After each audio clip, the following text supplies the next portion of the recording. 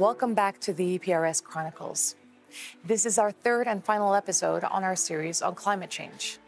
In episodes one and two, we explored the effects of climate change and what can be done on a global and European level to mitigate them. This episode will focus on climate change adaptation. And for that, I'm joined by Henrique Simoes, EPRS policy analyst specialized in climate change. Hello, Henrique. Nice to see you again. Hello, Kelly. So let's start with the term. What do we mean when we say climate change adaptation? Well, climate change adaptation is the process of adjusting to actual or expected climate and its effects. It is important to, to define three, uh, three important concepts in order to act on climate change adaptation. The first one being vulnerability, which is how likely are you to be adversely affected? The next one is risk, which is the potential of negative consequences with when something of value is at stake. And the final one is impact, which is the consequences of the risk in the system. It is important, important also to highlight that there are limits to adaptation. So in some cases, there is no chance of adaptation, like, for example, island states where there's no, no, no, no chance for population relocation, or in other cases where the option to adapt, it's still not available. And is climate change a priority globally? Currently, uh, the, the parties to the United Nations Framework Convention on Climate Change, they already have plans, strategies, laws, and policies that are getting better and more inclusive, but they're still lacking funding in order to take the next step that is to pass on to action. Uh, the international funding that it's directed towards developing countries is also identified as being five to 10 times lower than it should be by now. So, would you say that we are falling short?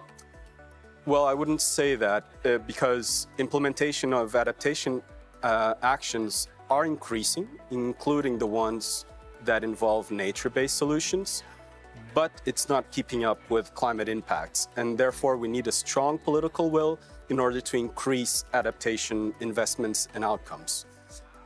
In a nutshell, global efforts are, are being made, but the funding is still lagging behind. Okay. And what about nature based solutions? Can you tell us what their role is in climate change adaptation? Well, nature-based solutions, they encompass a range of ecosystem-based approaches that aim to increase the resilience to climate change.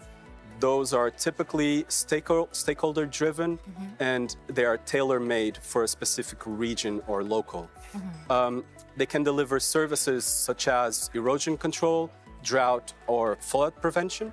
The examples of nature-based solution typically include coastal zone protection, wetland restoration and agroforestry, amongst mm -hmm. others.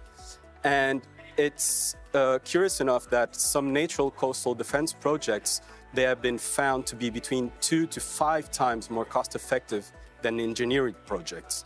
Nevertheless, there are still knowledge gaps to be filled in order to fully roll out these solutions as a valid climate change adaptation action. Well, what kind of knowledge gaps are we talking about? Can we fill them? Well, um, knowledge is vital to make the correct choices. And when we're talking about climate change adaptation, which needs effective actions, uh, we feel that there's the, the need to gather more and better information, especially on economic losses. Mm-hmm. Currently, there are a number of sources that are, that are available to the, to the public. They are open source, they're, they, some of them are tailor-made for local authorities to go and find information. Mm -hmm. Amongst these, we have the Climate Adapt platform or the Covenant of Mayors on Climate Change and Energy, which currently counts with a little over 11,000 signatories and represent roughly 30% of the European population. And you mentioned open source. Uh, what would be accessible at a local or regional level? The local regional level has been identified as being one of the major key stakeholders within the, the, um, the adaptation processes. Mm -hmm. And both within the, the Covenant of Mayors, there are a multitude of tools and, and, um, and services provided, like in project matchmaking. But in, uh, in terms of nature-based solutions, it also exists. There are uh, numerous open source platforms available to the local and regional regional level. I would just like to highlight one that was able to develop uh, a handbook and an appendix of methods that local and regional authorities and everyone in general can make use in order to identify the best nature-based solution for their for their intentions. I'd like to briefly go back to something we spoke about in episode two in more detail. Uh, we mentioned uh, mitigation of climate change and uh, what the EU is doing in order to mitigate its effects. Do we see a link, a relationship between climate change mitigation and climate change adaptation? Could they work jointly? Well, it's a good question, and there are potential benefits in having them both work together. As we know that mitigation actions, they take a long time to affect rising temperatures.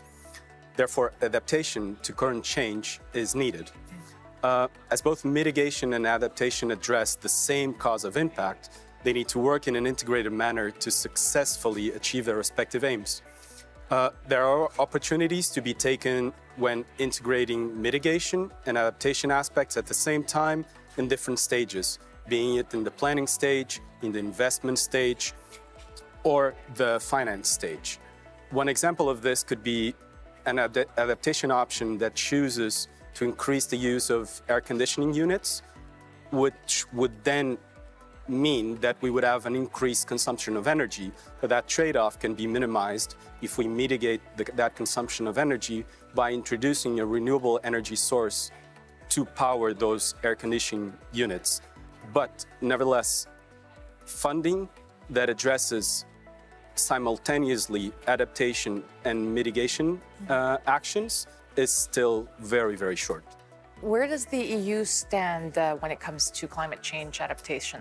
Well, the EU launched this first strategy back in 2013. In 2021, it uh, revised the strategy.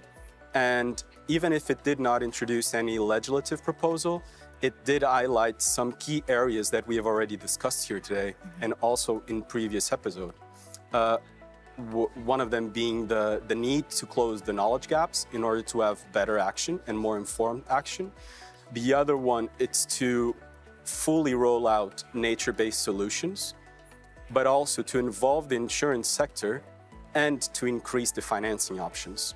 According to the strategy, climate change adaptation in Europe should be both smarter, which means that falls back again into, the, into, into what we were talking about in closing knowledge gaps in order to have better and more accurate adaptation options. It should be faster because the effects of climate change, they're already being felt. So we need to roll out adaptation actions as soon as possible. And it should be systemic, meaning that it should cover all levels of society and across all sectors. And finally, it also identifies the importance of providing support to developing countries, which is again falling into what we already discussed. And this needs to be done through the scaling up of international uh, finance, through global engagement and exchanges on adaptation, uh, all that we mentioned before. Thank you very much, Henrique. You're welcome. To find out more about climate change, its effects, mitigation, and adaptation, please click on the link in the description or visit EP Think Tank.